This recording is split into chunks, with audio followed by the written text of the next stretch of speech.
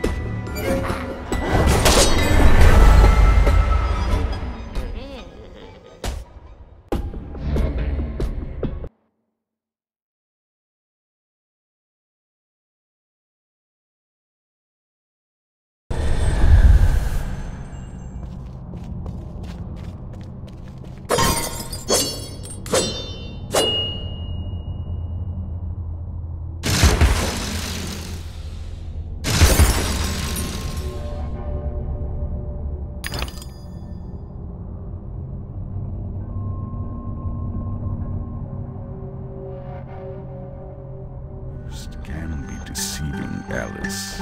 Much has changed since your last visit.